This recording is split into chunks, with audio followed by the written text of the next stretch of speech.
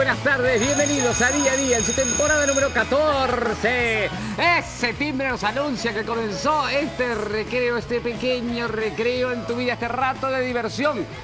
Si te querés comunicar con nosotros, tengo que contarte que las tres redes sociales son iguales. Twitter, Facebook e Instagram es igual. Arroba día a día BTV, como lo estás viendo ahí al pie de la pantalla. Este, así que no tenés excusa para comunicarte con nosotros. Pero si no llegás a tener redes sociales, tenés celular y tenés WhatsApp.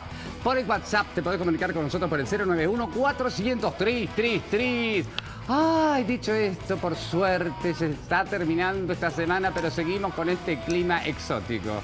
El clima de casi, casi finales de otoño estamos, como quien dice, a nivel de clima. Pero bueno, no, eh, quiero que sepan que estamos en febrero. Piensen, si estuviéramos en un año normal, la cantidad de fechas que se hubieran suspendido el teatro de verano, la cantidad de tablados que estarían cerrando, es impresionante. No tenemos, eh, no ha pasado, pero eh, por suerte, si hubiéramos tenido desfile y llamadas, no llovió. En enero no, no llovió prácticamente. Pero ahora que empezaban los tablados, estaríamos todos mojados. Ah. Yo me acuerdo cuando estaba conduciendo el tablado que además si empezaba a llover, eh, si habían pasado, por ejemplo, la mitad de los conjuntos, una cosa así, eh, no se devolvía la entrada, pero si no habían pasado tenían que devolver la entrada y era todo un trámite impresionante en el tablado. Estábamos rezando para que no lloviera. Bueno, Señores y señores, para comenzar, como siempre, comenzamos con los datos espantosos del coronavirus. 6.933 test se hicieron ayer, 627 nuevos casos, 10 fallecidos, lo que da un total de 516 fallecidos. Y en este momento hay 5.493 personas cruzando la enfermedad, de ellas 76 están en el CTI. Ay, dicho esto, les cuento también, porque miren, que estamos en el, eh, teleteatro de las, vacunas. Este, bueno, la policía va a tener prioridad para ser vacunada, lo cual parece bastante lógico. De todos los que han pedido que tuvieran prioridad, me parecen lógicos todos. Quiero que lo sepan. Bueno, ¿Se acuerdan las amenazas y peleas que tuvimos en la campaña y todo eso? Pero va a haber hotel cinco estrellas con casino allá en Rocha, cerca de La Paloma. Se hizo un llamado internacional. Obviamente, nuestro amigo este, Sartori presentó interesado, porque claro, nuestro amigo Sartori tiene empresarios conocidos que pueden hacer una inversión de ese tipo. Presentó algunos, pero bueno, se llamó una licitación internacional. Veremos cuáles son las propuestas y veremos cuál se acepta. Es entre si no me equivoco, entre, dicen entre la Paloma y, no sé qué, pero por ahí, es cerca, es cerca de la Paloma. Veremos qué, qué es lo que pasa. Un abrazo a todos mis compañeros del INAU. Ayer hubo una situación bastante complicada, miércoles, en, en el INISA, este, que terminó liberando, es más, tenían a unos funcionarios de rehén. Y bueno, y eso terminó, por lo menos la soltaron a los rehenes a las 12 de la noche. Esperemos que no haya heridos, que no haya lastimados, que no haya pasado a mayores. Pero bueno, fue la realidad que se vivió en el INISA este miércoles de esta semana. Otro digo, que también tiene que ver con la pandemia, pero tiene que ver con las clases. Vieron que estamos, están diciendo todos los actores políticos y etcétera que eh, la presencialidad, que hay que tener la presencialidad, volver a la presencialidad, pero también está el tema de los locales, las capacidades y todo eso. Bueno, la Intendencia de Montevideo, la, mi amiga Carolina Cose, ofreció como 100 locales de la Intendencia para facilitar de que todos pudieran tener una educación presencial cuando comiencen las clases. Veremos si se aceptan y veremos si funciona, obviamente. Otro sí digo. Qué lindo, me encantaría. Eh, BPS, estas son las cosas lindas que me encantan. No sé si salió de una auditoría o de dónde salió, pero el BPS parece ser que pagaba 200 mil pesos por mes. Alguien que haga la cuenta rápido después. 200 mil pesos por mes durante 10 años. ¿Para qué?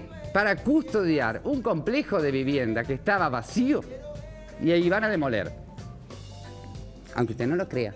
Durante 10 años estamos esperando que se demuela y por lo tanto había que tener una guardia de seguridad que valía, evidentemente, cerca de 200 mil pesos por mes. No sé, no quiero calcular cuánto es este, por 10 años, pero bueno, este, por suerte eso se va a terminar porque parece ser que en breve se va a demoler y en breve que es lo que más me gustaría, se va a construir en ese lugar. Otro sí digo, y que tiene que ver con la pandemia también. Todo tiene que ver con la pandemia. La ramblita de Piriápolis. ¿Qué pasa en la ramblita de Piriápolis, muchachos? Hay una banda, se ve insoportable. Hay aglomeraciones, hay fiesta, hay baile. Viene la policía, reprime la policía, se pelea con la policía, se va la policía, vuelve la gente, vuelve. Bo, parece ser que un día sí y otro también. Hay quilombete ahí en la ramblita, que le llaman, que creo que es la ramblita de los ingleses, pero conocido por todos como la Ramblita. Parece que ahí sigue habiendo de esa gente de Tasmania que dicen que el coronavirus no existe. Otro digo, el Partido Colorado victoriosamente va. Bueno, el Partido Colorado, con Julio María Sanguinetti a su cabeza, que se retiró del Parlamento, pero sigue, como él prometió, en la actividad política, este, presentó una serie, presenta una serie de propuestas para el gobierno para paliar esta crisis.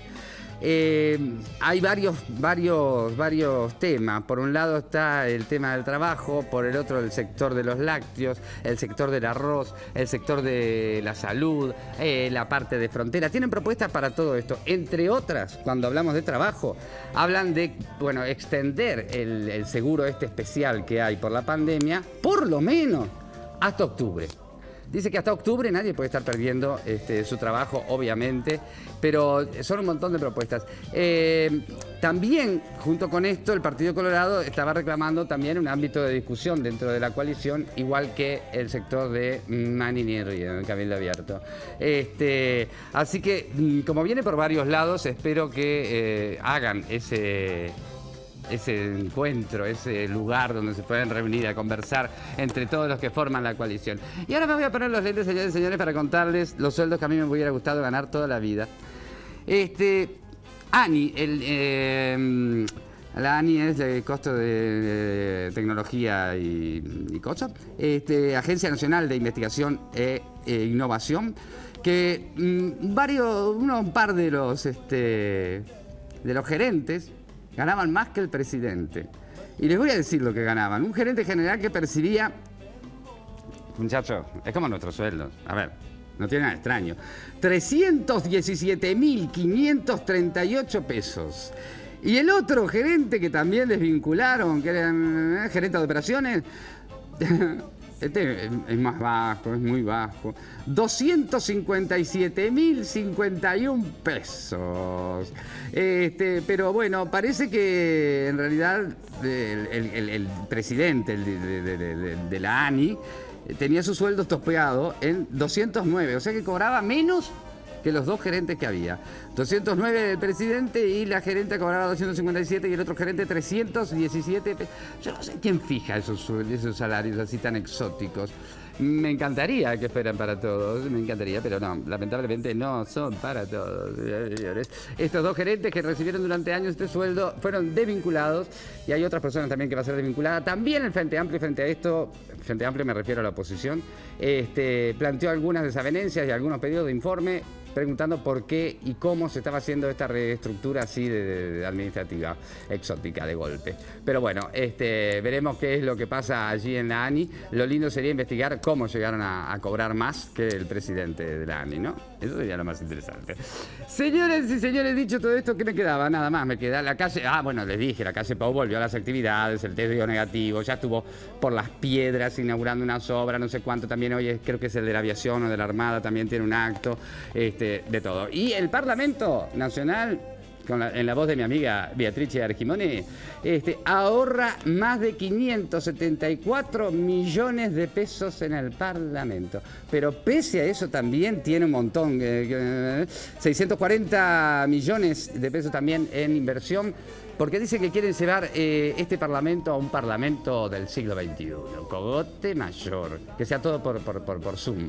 Y ya, si ya no tienen que ir más, ahí no gastamos más en el Parlamento. Bueno, señores, señores, esas han sido las noticias del día de hoy. Y ya los estoy dejando para que descansen un ratito y ya volvemos. Tenemos muchísimo más día a día para vos. Cielo, con deseos, solo más deseos. Nada me hace pensar que estoy cerca de ti. Solo esta noche triste, noche. de luna plateada. Desnudo mi corazón hasta el amanecer.